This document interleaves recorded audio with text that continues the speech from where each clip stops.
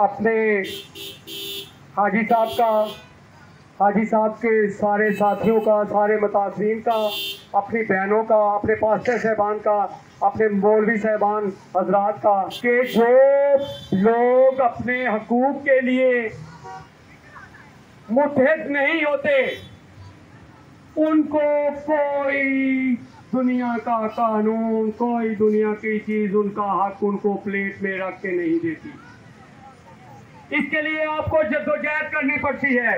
आपको अपनी आवाज़ बुलंद करनी पड़ती है।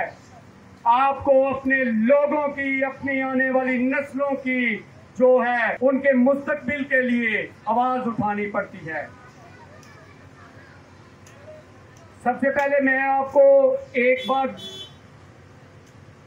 बताना चाहता हूँ कि जो सीडीए के मेंबर ए थे, जो चेयरमैन साहब हैं उन्होंने आपकी इस जद्दोजहद की वजह से ऑपरेशन को फोर रोक दिया है।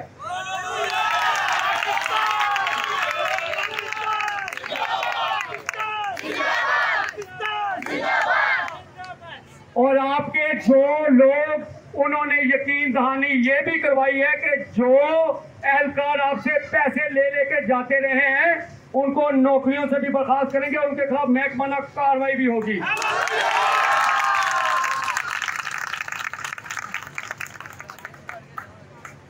हम अपने एसएचओ साहब, इस्लामाबाद पुलिस का, इनको भी हमारी वजह से ड्यूटी देनी पड़ी। मकीन साहब का भी शुक्रिया अदा करते हैं।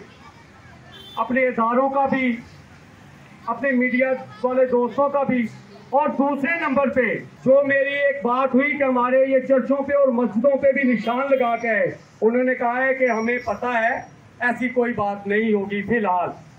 लेकिन आप लोगों ने भी अब आइंदा मुहतात रहना है, ये नौसरबाज और फ्रॉडिये लोगों से जो ये पैसे लेते हैं, आप वो आपके पैसे भी सीडीए के एहलकार जो है वो वापस करेंगे, अगर आपके पास प्रूफ है।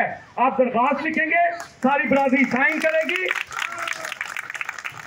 और आपका जो ये छत्ते गिराई के नुकसान हुआ, वो भी इजाला करें और जिन मेरी बहनों, बेटियों के वो घर गिरे हैं, वो अपने उधर शामियाने लगाएँ या वक्ती तौर और आहिस्ता आहिस्ता अपनी कोई और जगह का अरेंज करें। जो आपके सरों पे ये तलवार लटक रही थी कि अभी आए, कल आए, सुबह आए आप लोग खाना नहीं पकाते थे, आप लोग वो वक्ती तौर पे उन्होंने कहा है कि हम सरकारी ज़मीन दे तो नहीं सकते, लेकिन आप अपने लोगों को, अपनी कौम को के आहिस्ता आहिस्ता कहीं और शिफ्ट हो।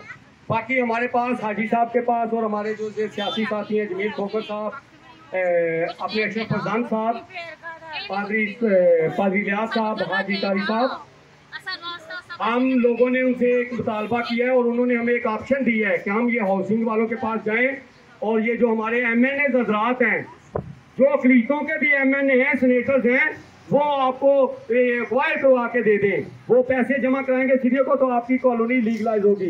इसके लिए हमें अब उन एम एन ए के पास भी जाना पड़ेगा।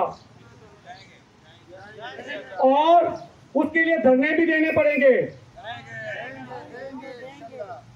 तो फिर आपके जो ये हैं, मेरा जो मेरी बहनों भाइयों फास्टर सेबान जो मेरा फ़र्ज़ था बगैर किसी लालच बगैर किसी मकसद और किसी की एक कप चाय भी मेरे पे हराम होती है।